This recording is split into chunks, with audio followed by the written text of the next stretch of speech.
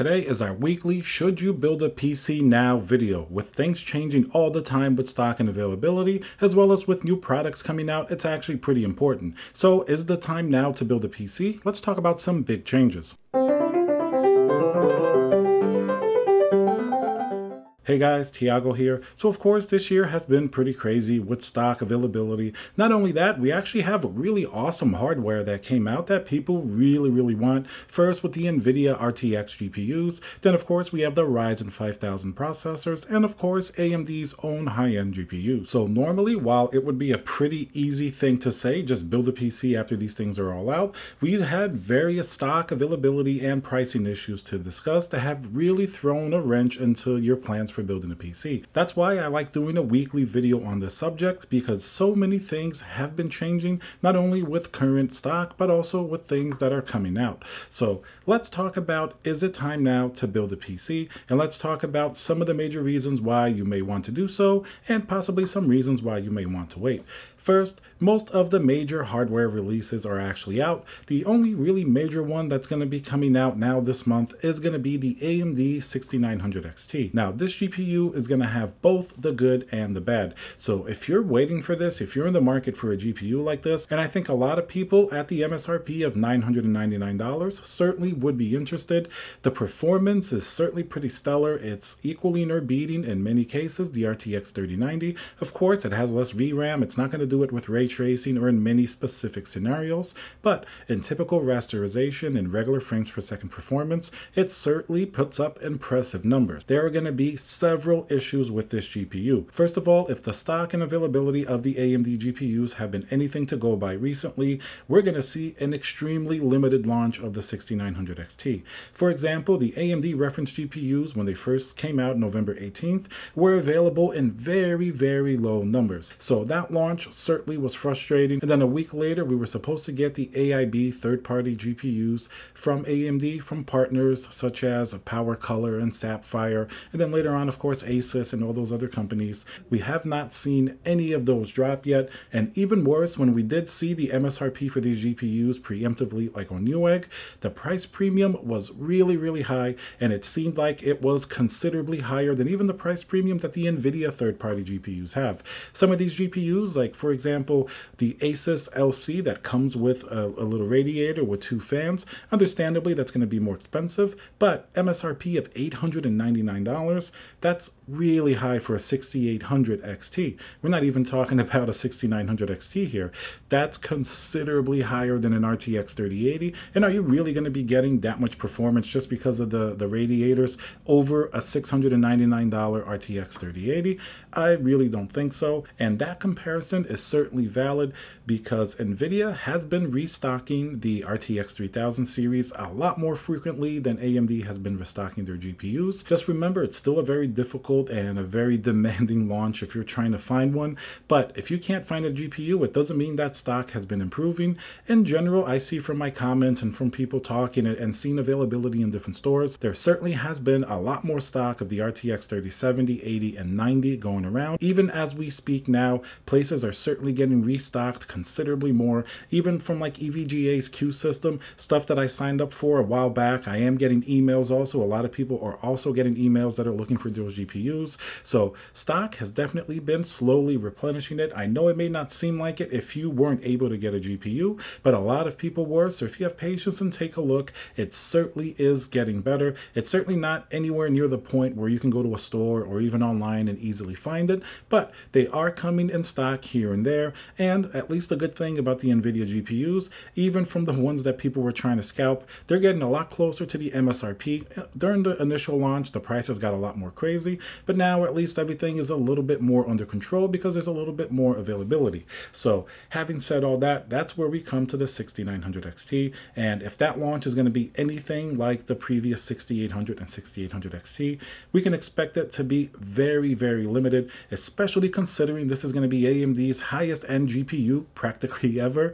And not only are a lot of people going to want to get it just because it's AMD's flagship product, but also you can guess that they're not going to make nearly as many of those as they would the 6800. And then the next problem comes if we know the AIB third party GPU prices of the 6800 XT are already going up to $900, pretty much a $250 premium from the MSRP of the reference GPU. What are the prices for the AIB 6900 XT GPUs going to look like? Previously, we didn't think that AMD was actually going to allow the third party partners to produce 6900 XTs, but it seems like recently that seems like it's going to happen. So we will see AIB uh, GPUs for the 6900 XT. We can only really guess how much, if even the 6800 XT gets a $250 premium. Who knows what the highest end 6900 XTs can get? We can assume at least the same thing, maybe more, maybe 1300. At that point, it certainly becomes a little bit murkier of a price to performance proposition against the RTX 3090. Now, the 3090 is not a good price to performance GPU. If you want that, the 3080 is definitely going to be the highest performing, best price GPU at around $700 and $750. I would say it would handedly be a better GPU to buy over a 12 $1,200 plus 6900 XT, you're just not going to see that huge performance gain. And the NVIDIA GPU is going to give you other benefits like ray tracing, which even on an RTX 3080 will outperform the 6900 XT when it comes to ray tracing and DLSS, all of those NVIDIA specific technologies. So having said that, anyway, most people aren't going to be in the market for a 6900 XT, but if you are, it's going to be a difficult launch anyway. What about some other GPUs that have been launching recently? How's stock going to be of that? Well, the 3060 Ti, which is going to fit into a lot more people's budget, believe it or not, actually had a much better launch than pretty much any other GPU that's come out this year. Even though, of course, remember, I know the launches haven't been ideal. It's still very difficult to find them. Sometimes somebody's experience on Newegg, I tried myself. I wasn't able to get anything on Newegg. It was very glitchy, didn't really show up. But a lot of people did. I mentioned Micro Center. They had over 150 GPUs in stock, which was more than pretty much anything else. And a lot of people were able to get these GPUs online. So that's going to be probably your best bet now in December if you're going to be building a PC. Keep an eye because these GPUs are restocking, especially when something big comes out like a 6900 XT. While that may not be in stock, if the other launches are any indication, sometimes on those launch days, other companies will actually replenish their stock of other GPUs, hoping that the people who didn't get the newest GPU that's coming out will then look to their product to get it, even if it's their second choice. If you can't get a 6900 XT, but they have an RTX 3080 on the shelf, a lot of people may just pick that up, you know, especially being so scarce and finally seeing it in stock. I've seen that happen a lot, not only in places like Micro Center, but also online, you know, like uh, Newegg and even Best Buy. Some of these places will restock on these big launch days. So remember to take a look at other GPUs as well, even if you're not interested in what's coming out. That can certainly mean that you get the GPU that you want, and that's pretty much going to answer the biggest question for building a PC. The GPU is the biggest factor aside from the CPU. And the second major item, of course, is going to be the CPU. This is where the story is a little bit better than on the GPU side. First of all, you still have plenty of Intel stock everywhere. So if you want to use an Intel processor and there's nothing wrong, especially over a Black Friday, a lot of them actually had really, really good pricing. And even though that Ryzen 5000 certainly hasn't beat across pretty much every single metric, they're still great CPUs for gaming. Um, I wouldn't discredit the Intel CPUs at all. I myself have used the 10900K as well as various ones in the past. So if you can still find one and they're discounted on sale now, even something like a 10 10 850K, a 10 700K, they may be coming down in price where they're not going to bottleneck one of these new GPUs and may hold you over until something new comes out next year. And the previous generation Ryzen 3000, a little bit funny, but most of them have also been sold out. People that can't get Ryzen 5000 and they don't want Intel, they've been going for, you know, the 3900X, the 3600 seems to be perpetually sold out at this point as well. Very popular CPU. Of course, if we talk about the Ryzen 5000, stock has been very limited for the higher end SKUs like 5900X and the 5950X,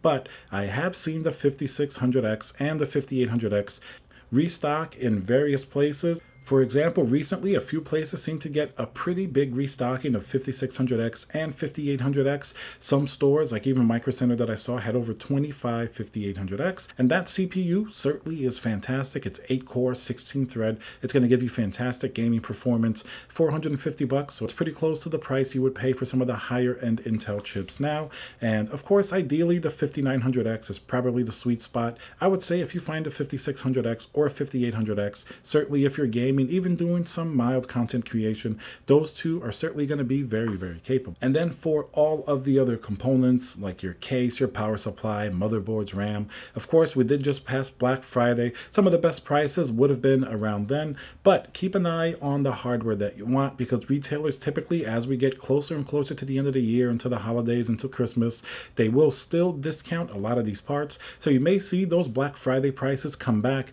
not for everything. If something's really popular and it really sold well on Black Friday. Sometimes it's going to maintain a little bit higher price just because they really sold out. A lot of the really popular Black Friday items, even like some of the SSDs and NVMe drives, if you take a look now, they definitely aren't in stock. People bought all of the ones that were really discounted, and a lot of them were showing stock coming later in December. So just keep that in mind. The best time probably was Black Friday for certain items like NVMe drives and RAM and things like that, but you may still be able to find really good prices as we get near to the holiday season. And all of these items are generally going to be in stock more or less. Like if you can't find a specific NVMe drive, you can always find a different one that's perhaps comparable. The demand really hasn't at least reached the point where you can't find that type of stuff. The big area of worry here continues to be the GPU and to a smaller degree the CPU as well. But even with the CPU, you certainly have more choices on the market. With the GPU, if you don't get something new, you kind of have to go for a previous generation, which is not really going to give you a very good price to performance. So to answer the question, should you build a PC now?